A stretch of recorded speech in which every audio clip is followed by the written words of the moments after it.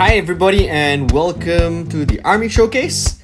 Today, we're going to have a look at this army DBA 3 slash 3 40D Leidang 1071 AD to 1280 AD. This army is basically the Leidang. Uh, the Leidang, to oversimplify who they were, were levied coastal fleets.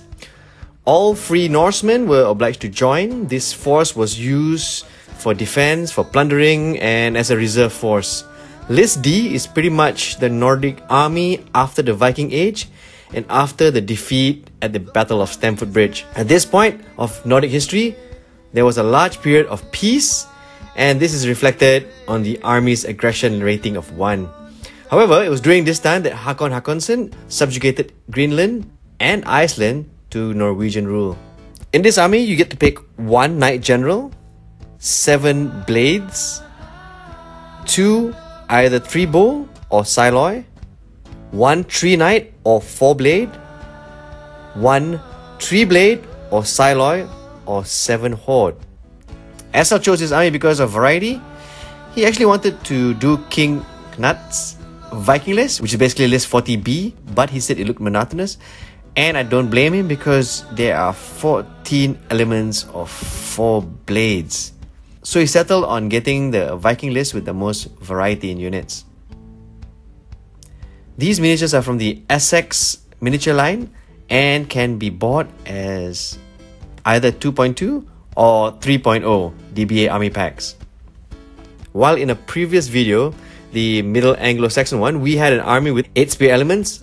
This army comes with 7 blade elements. Had trouble trying to decide on which blade element base to use for this video and made a decision to feature all of them. I like the variation in shield designs and the brave use of color.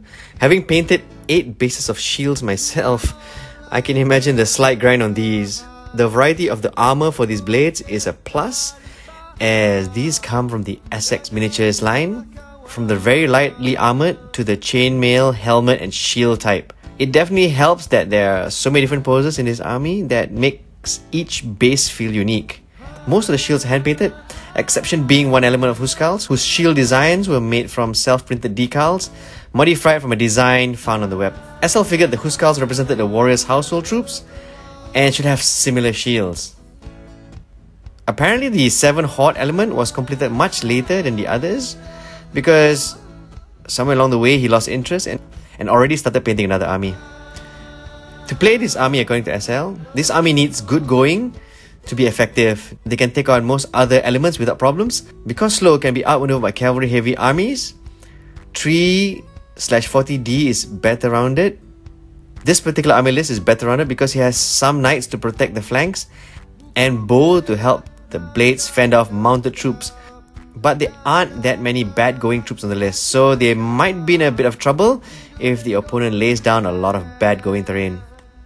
For basing, SL chose a bright flock, which not only brightens the army but also implies a more stable community that the force is based on. Personally, I like the way this army looks. This army is very, very nice, very detailed, it's very neat. I like SL style, like I said, it's very, very neat. In fact, when I asked, most of the black lining was done with a brush and not a pen. He says he found out that when you use a marker or a pen to the black lining, it, it fades over time. So yeah, I guess I guess that's a good tip. When I asked him why he painted his army, he said it was because he had just watched Vinland Saga. I really hope you like the army showcases that we are slowly putting together. We've done quite a lot of these armies, and I'd like to thank everybody who helped encourage us by liking and subscribing. So that's pretty much it. I'll see you in the next one.